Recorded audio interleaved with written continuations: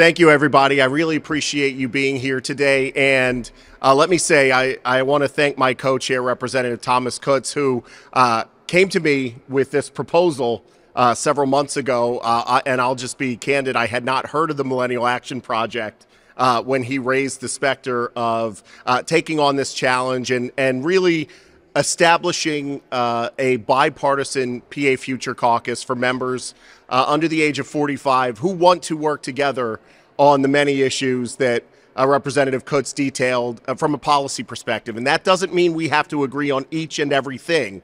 Uh, but it, what it does mean is, as Representative Kutz laid out, we have challenges before us, challenges that affect uh, myself as an older millennial.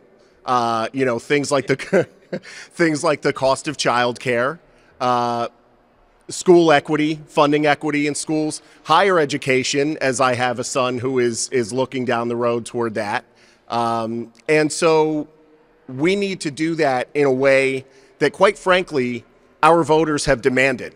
Pennsylvanians voted for 102 Democrats and 101 Republicans uh, in the Pennsylvania House. In the Pennsylvania Senate, there is just a five or six seat difference uh, between the parties there. So three seats one way or the other, and you know we could we could have a tied Pennsylvania Senate. So the voters have asked for this. They've asked for us to come together as legislators, as leaders, and I am so proud uh, to be the 33rd iteration of the Pennsylvania Future Caucus nationwide, and I'm proud to do it uh, with my friend Representative Kutz. And I just want to leave you with this thought. And one of the things that Blaine uh, pointed out a little earlier that I think about all the time is the erosion of faith in our institutions. And if we do nothing else, I hope this bipartisan future caucus serves as a signal to future generations that there are leaders willing to come together. There are leaders willing to put differences aside.